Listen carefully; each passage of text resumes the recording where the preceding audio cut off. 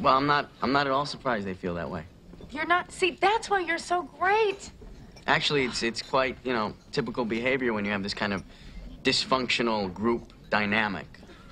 You know, this kind of codependent, emotionally stunted, sitting in your stupid coffee house with your stupid big cups, which I'm sorry might as well have nipples on them. And you're all like, oh, define me, define me, love me, I need love. You're describing Hollywood. You know, you're describing the problems with Hollywood. In Hollywood, when you make it, like if you're you're in a movie and you're you're doing well, everybody loves you. Oh, CoffeeZilla, come on through the red carpet. Let's go.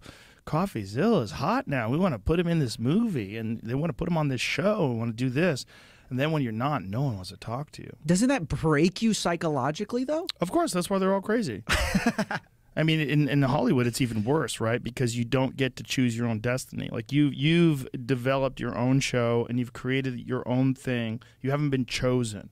In Hollywood, the problem is you're being chosen for everything. So you're being cast in these things. So you have to deal with people that approve you or pick you.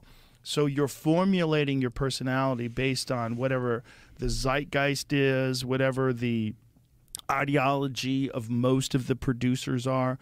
Like if all of Hollywood was right wing, right? If all the producers and all the executives and all the studios were all very conservative and right wing, all actors would be conservative. They would all be pro life.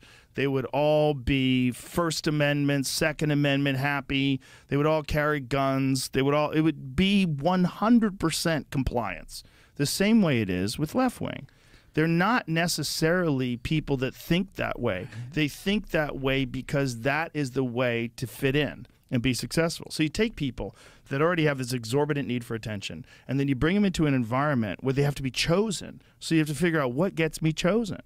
So you form your ideas and opinions based on what's going to be the most successful. It's a mating strategy. It, it's weird because the fact you need to be chosen sort of makes you play the same game that you don't like, which is you have to go to the power brokers and you have to suck up to them the same way people suck up to you when you're successful. You have to go suck up to the successful people. Yeah. And now you're playing the same game where you're going to the people who are the decision makers and you're trying to woo them and pretend you're their friend. That's why when That's those people do make it and they do get pushed through that red carpet, come on through, Tom Cruise. They're all fucking crazy. And a lot of them treat other people like shit because they want to let you know that they're a part of the chosen class. So that's like this thing about certain celebrities being assholes to to regular people. Like, wh- why do they treat people like that? Well, the same reason why royalty does it. You know, like when you see the queen, you're supposed to bow. Like this is how it goes down. That's why they became the queen in the first place. That's why they became a star in the first place because they want to be that person that just gets fucking exorbitant amounts of love and attention. It's and it's very unhealthy. And it's If ISIS started a streaming service, you'd call your agent, wouldn't you? So, if you do win an award tonight, pl- don't use it as a, a platform to make a political speech, right? You're in no position to lecture the public about anything. You know nothing about the real world. Most of you spent less time in school than Greta Thunberg. So, if you win, right, come up, accept your little award, thank your agent and your God, and fuck off, okay? So. It's already three hours long. Right, let's do the first award. The first award.